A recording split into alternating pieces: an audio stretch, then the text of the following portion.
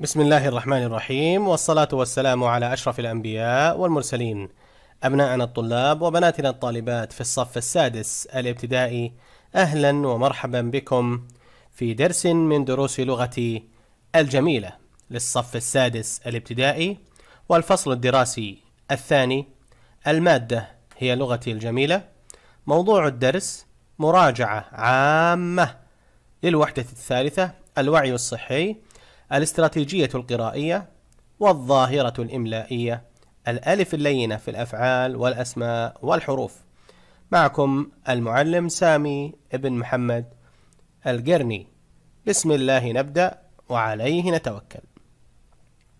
موضوعنا لهذا اليوم الاستراتيجية القرائية والظاهرة الإملائية الألف اللينة في الأفعال والأسماء والحروف.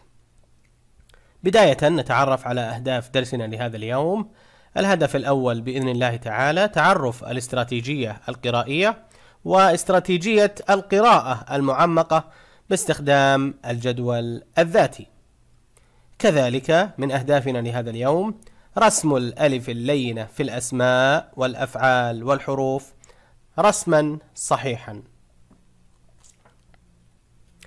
أولا الاستراتيجية القرائية الجدول الذاتي. الهدف العام من هذا الدرس تعرف استراتيجية القراءة المعمقة باستخدام الجدول الذاتي. استراتيجية الجدول الذاتي هي طريقة لمعرفة وفهم واستيعاب أي نص نقوم بقراءته.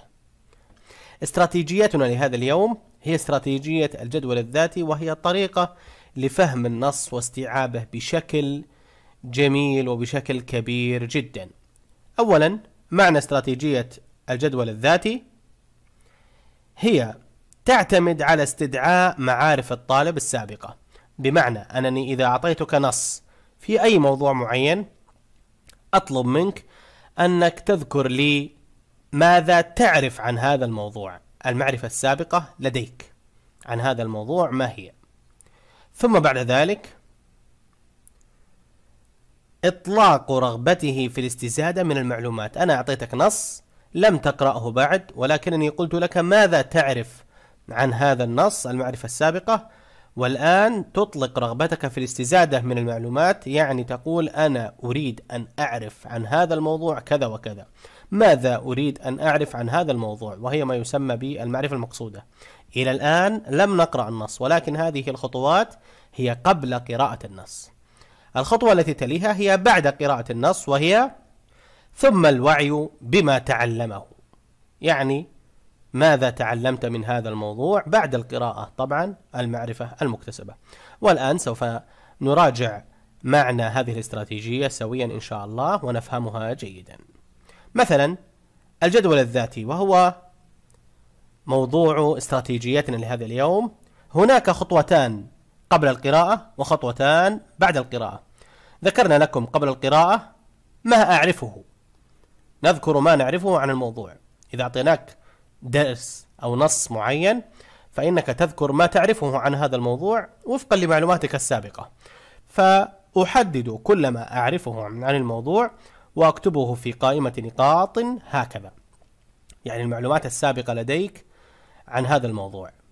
ثم ما أريد معرفته أي أحدد كل ما أريد معرفته عن الموضوع أو ما أتوقع أن أتعلمه منه وأكتبه في قائمة. كذلك هذه الخطوة قبل القراءة أيضا. ثم أسجل المعلومات التي أريد معرفتها عن هذا الموضوع. ثم بعد ذلك أقرأ النص وبعد القراءة أسجل ما تعلمته من خلال قراءتي للنص. أقرأ النص قراءة صامتة بفهم وتركيز ثم أكتب ما تعلمته منه.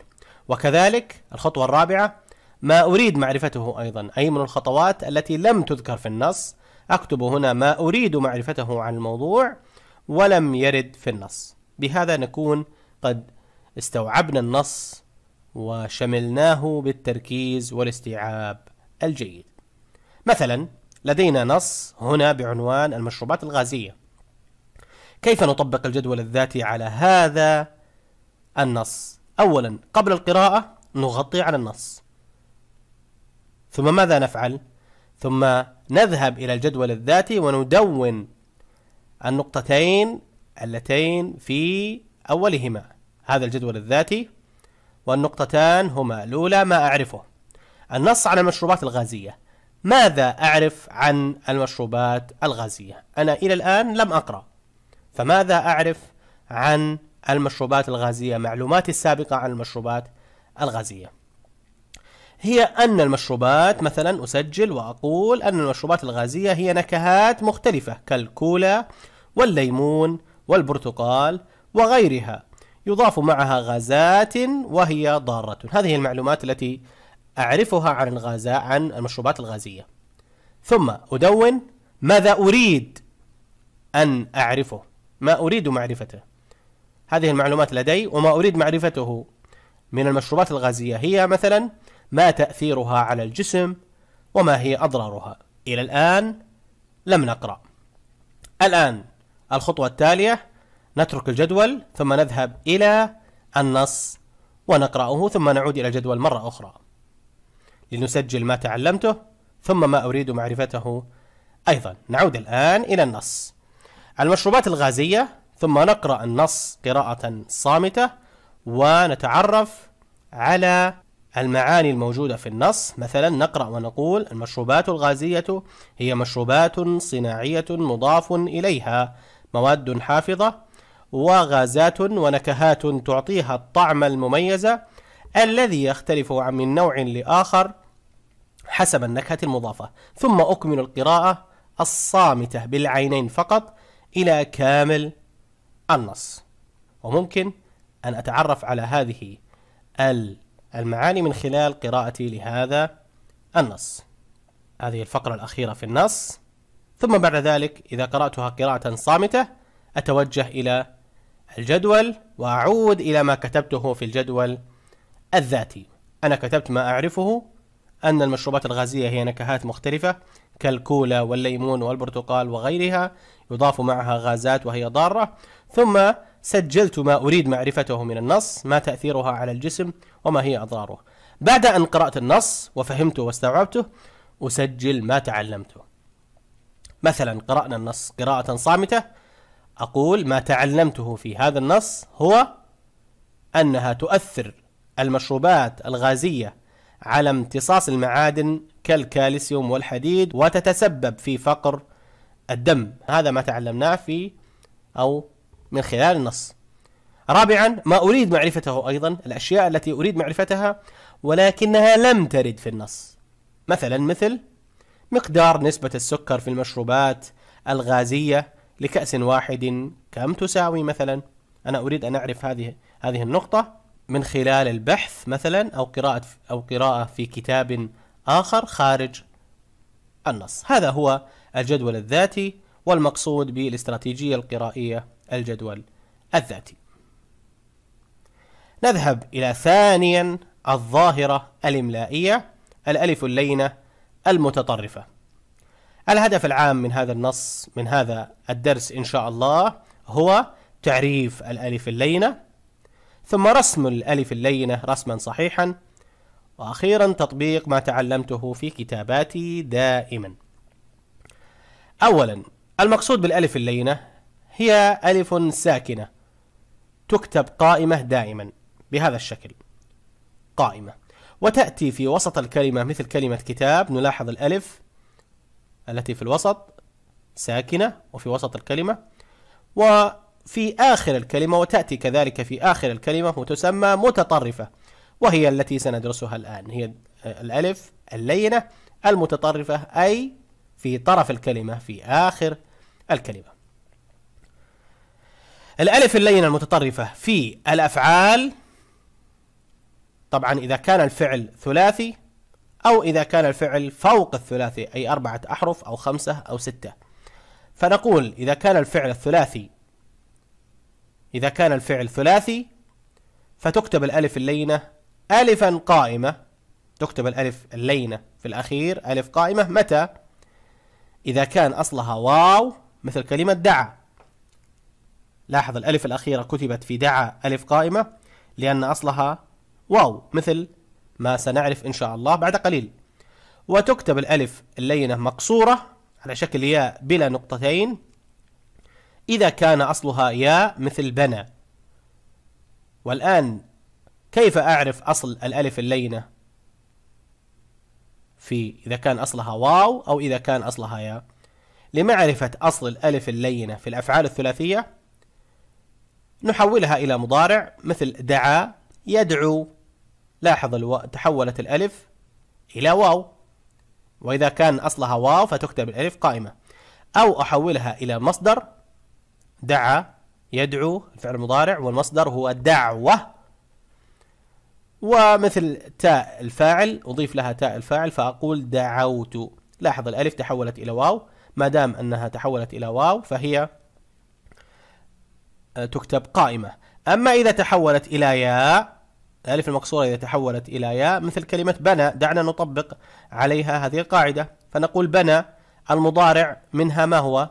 يبني ما دام أن الألف تحولت إلى ياء فنكتب الألف مقصورة. نتجه الآن إلى الفعل فوق الثلاثي إذا كان أكثر من ثلاثة أحرف فتكتب الألف المقصورة على شكل ياء بلا نقطتين ككلمة صلى أو استعلى أو اختفى. لاحظ كلها أفعال والألف كتبت ألف مقصورة إلا إذا دائما تكتب ألف مقصورة إلا إذا سبقت الألف بياء. مثل كلمة يحيى لاحظ الألف الأخيرة سبقها حرف ياء.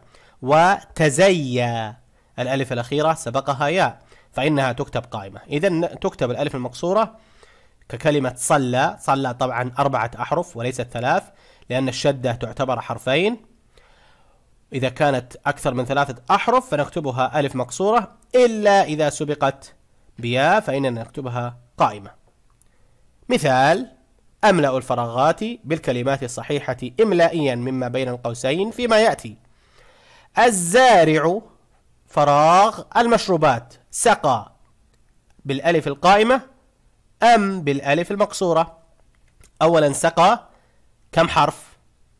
هي ثلاثة أحرف والقاعدة تقول أننا نرجع إلى أصلها فنعيدها إلى المضارع أو إلى المصدر أو إلى أو أضيف لها تاء الفاعل. نلاحظ أن سقى بهذا الشكل تكتب. لماذا؟ لأن الفعل ثلاثي وأصل الألف ياء في المضارع يسقي. إذا سقى تكتب ألف مقصورة. تكتب ألفا مقصورة. الفقرة الثانية فراغ الله الأرض بعد موتها. أحيا بالألف المقصورة أم أحيا بالألف الممدودة؟ لاحظ أولا ننظر إلى عدد الحروف. أحيا كم حرف؟ هي أربعة أحرف. إذا هي فوق الثلاثي. والقاعدة تقول إذا سبقت الألف بياء فإننا نكتب الألف قائمة هكذا. تكتب الألف قائمة. لماذا؟ لأن الفعل فوق الثلاثي وسبقت الألف بياء. الجملة التي تليها الطفل ملابسه ارتدى. ارتدى بالألف المقصورة أم ارتدى بالألف القائمة. ماذا نختار؟ أولا نحسب عدد الأحرف. هو فعل أكثر من ثلاثة أحرف والقاعدة تقول أننا نكتبه ألفا مقصورة إلا إذا سبق بياء. وهنا ارتدى الألف المقصورة قبلها دال وليس ياء. إذا نكتبها بالألف المقصورة لأن الفعل فوق الثلاثي ولم تسبق الألف بياء. أخيرا في هذا التدريب الطالب بصوته الجميل شدى بالألف الممدودة أم شدى بالألف المقصورة؟ ثلاثة أحرف حولها إلى مضارع أو إلى مصدر أو أضف لها تاء المتكلم أو تاء الفاعل فنقول شدى يشدو. تحولت الألف إلى واو إذا الألف تكتب قائمة شدى بالألف القائمة لأن الفعل الثلاثي وأصل لأن الفعل ثلاثي وأصل الألف واو في المضارع مثل كلمة يشدو تحولت الألف إلى واو. الألف اللينة المتطرفة في الأسماء كذلك تنقسم إلى قسمين ثلاثي وفوق الثلاثي. الثلاثي بنفس القاعدة مع اختلاف بسيط تكتب الألف اللينة ألفا قائمة. إذا كان أصلها واو مثل عصا. لاحظ الألف قائمة لأن أصلها واو وتكتب الألف اللينة ألفا مقصورة إذا كان أصلها ياء مثل هدى. نفس القاعدة ولكن تختلف في معرفة كيفية أصل الألف. لمعرفة أصل الألف اللينة في الأسماء الثلاثية أحولها إلى مثنى. فمثلا كلمة عصا نحولها إلى مثنى فنقول عصوان تحولت الألف إلى واو تحولت الألف إلى واو بالتالي تكون الألف قائمة. أو أجمعها فمثلا كلمة هدى جمعها ماذا؟ هدايات تحولت إلى ياء إذا الألف مقصورة.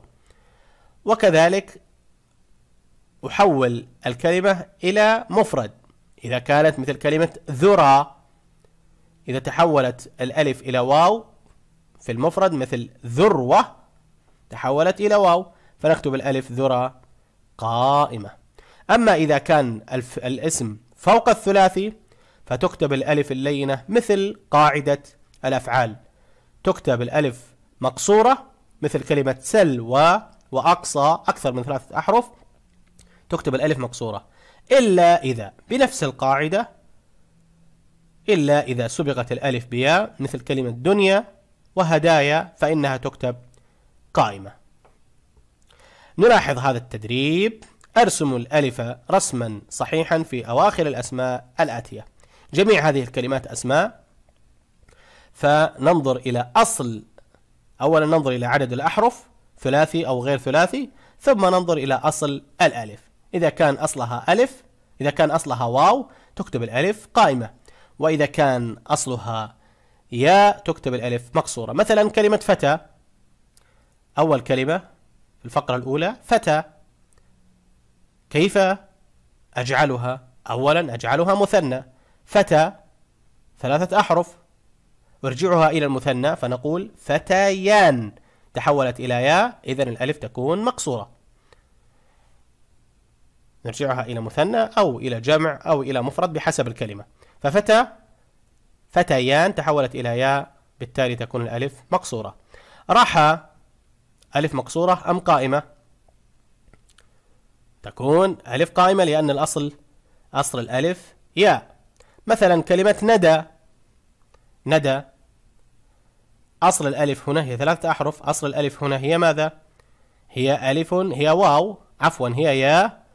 بالتالي تكون ألف مقصورة. العصا لاحظ العصا هنا في هنا ال التعريف.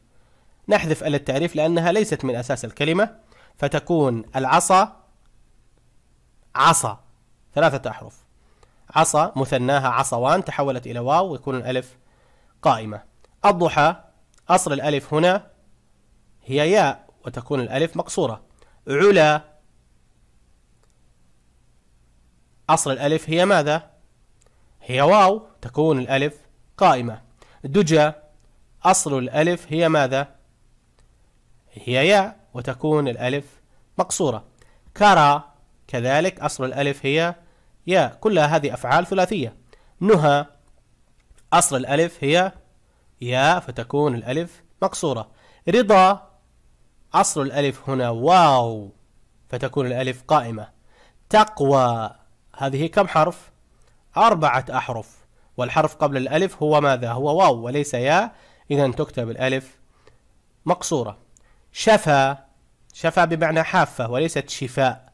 شفى ثلاثة أحرف وأصل الألف هو واو فتكتب ألف قائمة. ربا أصل الألف هنا ماذا؟ ربا هي جمع ومفردها ربوة. تحولت الألف إلى واو إذا تكتب ألف قائمة. زوايا أكثر من ثلاثة أحرف. زوايا أكثر من ثلاثة أحرف وحرف والحرف قبل الأخير هو يا إذا تكتب الألف قائمة. مستشفى أكثر من ثلاثة أحرف. الحرف قبل الأخير فاء وليس يا. تكتب الألف مقصورة. سجايا أكثر من ثلاثة أحرف. والحرف قبل الأخير يا تكتب إذن قائمة. وكلمة دعوة أكثر من ثلاثة أحرف كذلك. والحرف الأخير هو حرف الواو وليس قبل الأخير هو الواو وليس الياء. إذا تكتب مقصورة. الألف اللينة المتطرفة في الحروف. جميع الحروف المنتهية بألف لينة تكتب ألفها قائمة مثل لا ألا إلا لولا كلا. جميعها تكتب بألف قائمة. ما عدا أربعة. جميع الحروف تكتب بألف قائمة. ما عدا أربعة. وهي حتى إلى على بلى فإنها تكتب ألفا مقصورة. وفي الختام نشكركم على المتابعة وإلى درس قادم بإذن الله نستودعكم الله والسلام عليكم ورحمة الله وبركاته.